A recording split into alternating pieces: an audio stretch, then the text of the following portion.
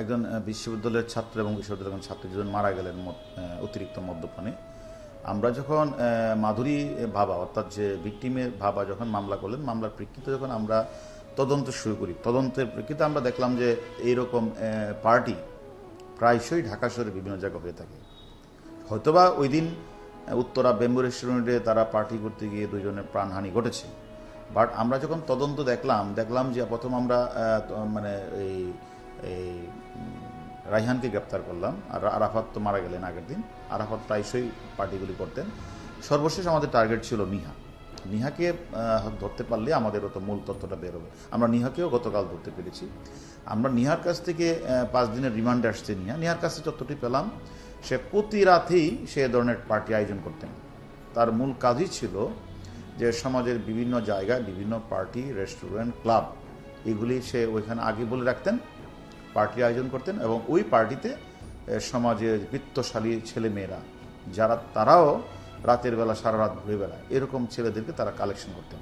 এবং এই কালেকশন করতে গেলে সেই কালেকশন সেই রাতে সেখানে মদের দরকার হতো। ওই মদ সাপ্লাই করার জন্য একটা ক্যারিয়ার থাকতো। তারা মদটা সেখানে দিয়ে যেত। এই মদ খেয়েই তারা নাচানাচি করতো। আর ওই যে নিহার মতো যারা যে সকল মেয়েরা, তারা প্রতি রাতে বিভিন্ন ড্রেস পরে তারা যে বড় লোকের মেয়ে, তাও কিন্তু না।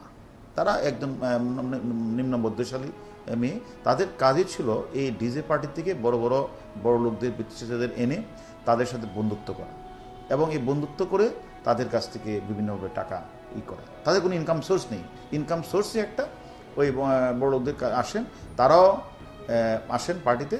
এরকমভাবে বিভিন্ন জায়গায় এক ধরনের অসাধু মাদক ব্যবসায়ী এখানে মদ সাপ্লাই করেন, তাদের কোনো লাইসেন্স নেই। এক ধরনের অসাধু ব্যবসায়ী, তাদের রেস্টুরেন্টের মদ খাওয়ার লাইসেন্স নেই, তারা এটা করে থাকেন। এবং ওই দিন রাতে বলো বেম্বে রেস্টুরেন্টে কিন্তু মদের খাওয়ার লাইসেন্স নেই। এবং দেখা যায়, আমারই রেস্টুরেন্টে দেখা গেল যে তারা এখানে এসে মদ পান করেন, নাচানাচি করেন, সেখান থেকে তারা মাওয়া গেলেন। মাওয়া থেকে এসে কিন্তু অসুস্থ মারা গেলেন, দুইজন মারা গেলেন। আমার আমার মূল কথা হলো, এটার জন্য দায়ী হলেন আমার আমাদের পরিবার। এদের যে, এই যে পাঁচজনের মামলা হলো পাঁচজনের আমরা আমরা লক্ষ্য করেছি। তাদের পরিবারে হয় বাবার সাথে মার মিল নেই, অথবা বাবা মার সাথে ছেলে মেয়ের মিল নেই, অথবা তারা বাবা মার কথা শুনছে না, অবদ্ধ সন্তান, তারা সারা রাত বাহিরে থাকছেন, কোনো কারও কথা শুনছেন না। যার প্রেক্ষিতে এই যে বিচ্ছিন্ন পরিবার বা অবাধ্য হওয়া, এই সকল কারণেই এই যে আমাদের সমাজে এ ধরনের ঘটনা প্রায়শই ঘটছে।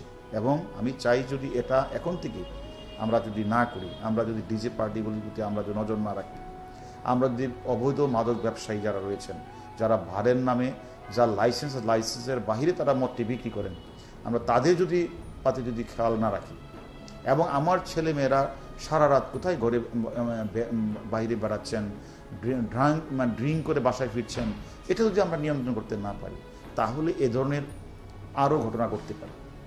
আমরা এ ধরনের যে মাধুরী আরাফাত যে মারা গেলেন অনেকেই মারা যেতে পারে তাই আমাদের উচিত ডিজে পার্টিগুলির প্রতি খেয়াল রাখা এবং লাইসেন্স দ্বারা অনুমতি মিন বা করতে না পারে সেদিকে খেয়াল রাখা, অবৈধ মাদক ভার যেগুলি রয়েছে সেগুলি বন্ধ করে দেওয়া এবং ভারের নামে সেখানে যে মানে লাইসেন্সের বাইরে মদ মদ বিক্রি করছেন সেই সকল কর্মকর্তাদের গ্রেপ্তার করা, এগুলি করতে পারলে কিছুটা নিয়ন্ত্রণ আনা সম্ভব।